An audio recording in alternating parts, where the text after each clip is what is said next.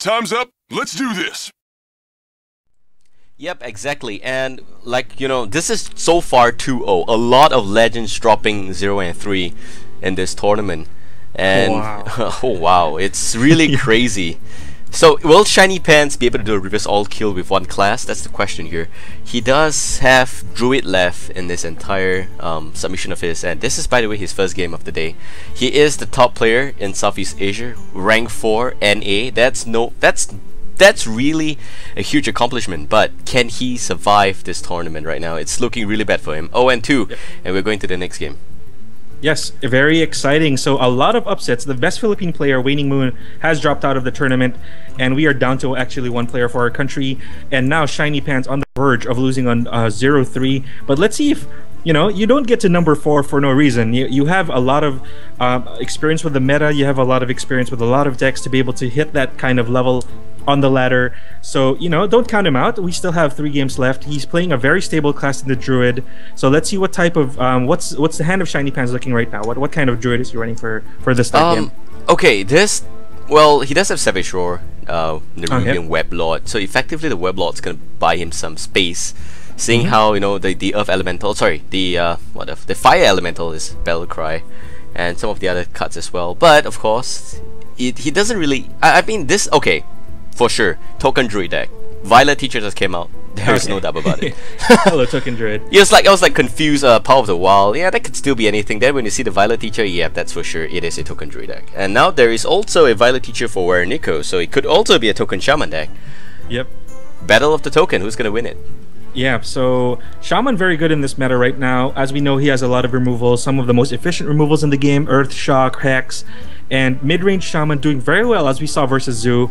So it might still be good. I mean, I mean, in my experience, Shaman is very good against Druid and in all of its variants because there's just so many removals, so much value out of something like a Lava Burst, out of something like a Lightning Storm with a Spell Totem. So it is Shaman is a really nice deck, especially in a tournament scenario where you're going to be facing a lot of different type of types of decks, and having a lot of value removals in the form of a shaman mid-range deck, as well as having a lot of finishers. You still have, um, as we can see in Wereneko's hand, you have a you have something like an Al'Akir that can take Rock Biter, that can take Flame Tongue Totem into a lot of values with its Divine Shield.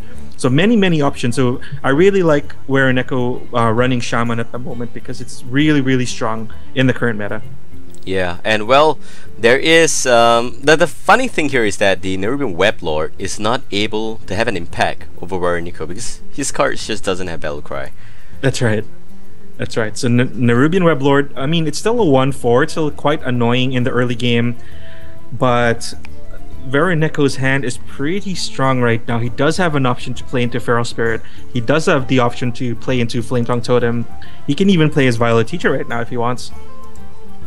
Yep. Meanwhile, a bit of a short update here. Lightbringer winning Raedric over in the quarterfinals. He's going into the semifinals to face No! off the. Uh, oh, sorry. No. Okay, so that's the end of the that's the end of the Philippines run in this tournament. Uh, but good job, guys. Thanks for playing.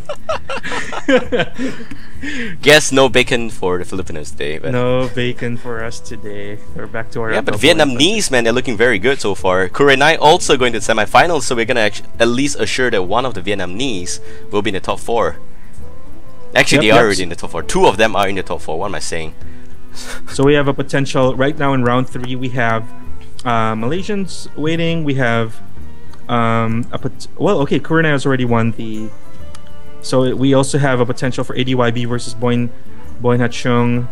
Okay, so anyway, back to this game. we are now Wereneko with a full board control with his totems and with his Argent Squire and Shiny Pants with his Druid of the Claw. Um, not not really in a position to start running off of his into his tokens right now. How is his hand looking at the moment? He does have two Violet Teachers, which is going to provide a lot of tempo if he has the space to run them. Uh, he does top deck another sub as well with the Wrath, so that's good. He can. He is having a bit of a trouble killing the Flame Town, but with Hero Power should be okay. At least that's going to provide substantial um, answer right now. There's not enough stuff on the board for Shiny Pants, and I think he knows that as well. Next turn, it would definitely be a Druid of the Claw. Um, For Wereneko on the flip side, I think that yeah, Doom Hammer for sure. He's gonna kill the two four, and although th- it's only two one ones on the field, but that if he is really running a um, token shaman deck, we're looking at Bloodlust, and if he runs Bloodlust, wow, those Wow. are still gonna deal a lot of damage. Definitely. So don't count out that mana totem. Uh, despite being silenced in zero two at the moment, don't count him out. He still has a potential to be a, a token into the bloodlust for later on. So let's see what where what okay. So Wereneko chooses to you know hold on to his hand and let's see what shiny pants. Uh, how's his hand looking at the moment? What, what are his plays for the next few turns? Yeah, he definitely plays the um, Druid of the Claw here, and there is no hex, nothing they could really do. Flame Tongue Totem again It's gonna be quite a dangerous play here for Shiny Pants. Uh, he's definitely gonna Oh go boy. down there. Yep, that's gonna die, and he's also gonna deal two damage, so that's so much value there. Next turn, I'm expecting it to be a Violet Teacher into a uh, Mark of the Wild, seeing how it's only turn six here. Um, he can also, yeah, but the thing is, it doesn't really have a, a pretty good tempo hand here. It's like every single thing he's tr- he's throwing out there gets answered by Wereneko, Yes. and that's a big problem for Shiny Pants. You don't want to be in that spot because you want to just constantly um, set up the tempo for your side, but that's not happening. So he top decks a Rough, which is why you're seeing it right now, and he's gonna Rough the 0-3 just to make sure he dies. Pretty good play there.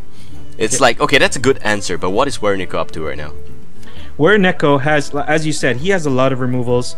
Um, he's been answering Shiny Pants play every single turn, and he still has a lot of stuff in, in play in his hand. He w- he still has a chance to play his Feral Druid, I mean his Feral Spirits. He's gonna choose to play um, Lava Burst against the Violet Teacher, wanting wanting to get that option out of Shiny Pants' hand right out uh, right off the bat. He's gonna go for a swing against Shiny Pants, choosing to save his Rock Biter, and he's gonna end his turn with two charges left and Doomhammer and a decent amount of minions on the board. So next turn, he can go into some big swings with his with his Doomhammer, especially with Rockbiter being saved for the next for the last two charges. Yeah, so I believe that we are also looking at swipe here. But swipe is just not enough. He doesn't have the extra spell damage that he can take. That's pretty That's right. interesting. They can actually play the um yeah, he can actually play Ancient of Lore, I think. But that's a little bit risky. The thing is that he does have a lot of spells that can combo really nicely with Violet Teacher or anything on the board. But the problem is he doesn't have anything at all on the board. So that's the problem here. So that's the bane of pretty much um, any token druid. The, the the idea is you want to have a lot of minions on the board, something like Argent Squires or Harvest Golems, and starting to use your spells at the time when your your Violet Teacher is on board. But at the moment, with no creatures on the board, there's nothing to combo into. There's nothing. There's no value to gain out of something like a Savage Roar. So Shiny Pants is in a bit of trouble.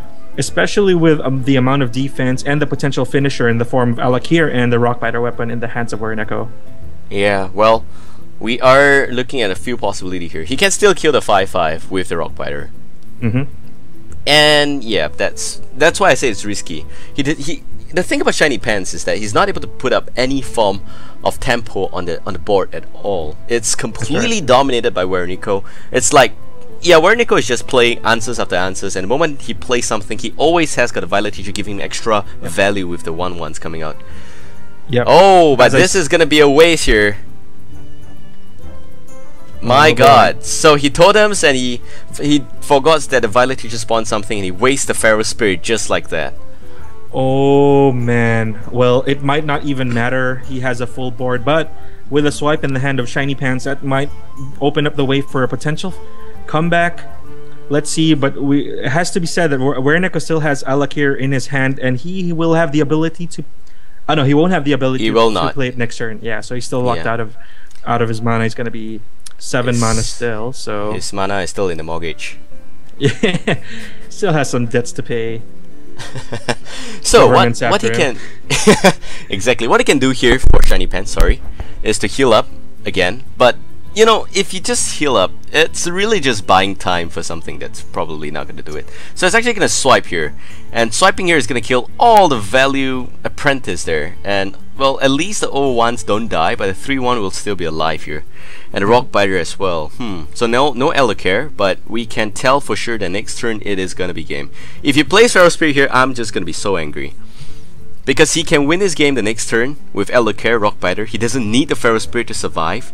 He just That's needs right. to make sure that you know the opponent doesn't have any taunt. First Spirit No, here just really use Lightning Storm. Please just use Lightning Storm and Lightning then try Storm- and get rid of the 3-5. Oh no. No, no, but Lightning Storm also gives him uh, overload. So again, Oh, this okay, mana's okay, gonna be locked up in Sorry. mortgage. So he could have won this game in the next turn, but because he decides to go for Feral Spirit and he's just obsessed with having as much minions on the board as possible, um, he will not have that. So Force of Nature is gonna come out here, and that's still gonna wipe out the board. If only he didn't use that. Look at that. I mean, Shiny Pants doesn't even have, um, you know, doesn't even have a taunt. Yeah. His only bane Pants- would be if Shiny Pants heals up, but that's 12, and you just need, you know, you just need maybe a weapon there to end the game. We'll see. So it looks like Shiny Pants will have the ability to clear Wereneko's entire board, but that's still Al'Akir next turn. So let's see. Oh, Shiny Pants might get this game here. He is looking pretty good because now he's set up bot synergy, and we're looking at Wereneko using Lightning Storm the next turn. So at least he's gonna kill the one ones. Oh, if he plays Al'Akir here, it is still game. Because the 1-1 didn't die. That's because Shiny Pants was too greedy, and greed kills. He's gonna lose the Oh tournament. to no! If only That he ran the Violet Teacher into the 1-1. Yeah, my god, it's so close. Just but clear his board. Oh no! Well, Wereneko gonna take it 0-3 over the number four ranked NA player Shiny Pants. What an upset! Oh man, today is full of upsets, Babael. Um, more for you, less for me, but but yeah, I also have an update coming in here, and it's uh, the fact that 80YB does win over Boy Haktang there, and that's um, a 3-0 victory. So 80YB has been 3-0ing everybody this afternoon, and Oh he's gonna have to play against Kurenai, a Vietnamese I can't believe player. we're actually in the semifinals only two Yeah, hours we into the tournament. So these guys play fast. I mean, these. Yeah. I mean, if I guess you're used to it if you're playing ranked, playing hundreds of games, trying to get to uh, legend level, and they're used to just churning out these games fast. But you know, we're not we're not deprived of some high level play. We're I mean.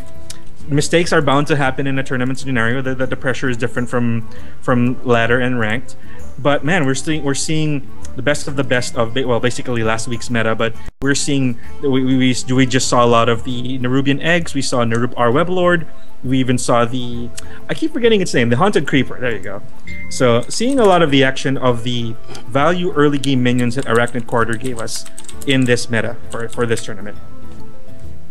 Yep, so we are going to cover the next game between 80YB and Kurenai. They're going to start in just about 10 minutes, and effectively, we are able to cover both semifinals and the final because of the small little delay that we had in the early. Also, the fact that we have just caught up here because of the clean 3-0 victory by Wereneko. So right now, still in the competition is Wereneko from Singapore and uh, I am Biscuit from Malaysia. They they are gonna play in the uh, third round, and we have Lightbringer waiting for them in the semifinals. We also have Kurenai versus 80YB in the second semifinals, which we are gonna which we are gonna cast in just about 10 minutes.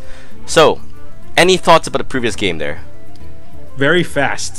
this this current meta seems to to favor a lot of fast games.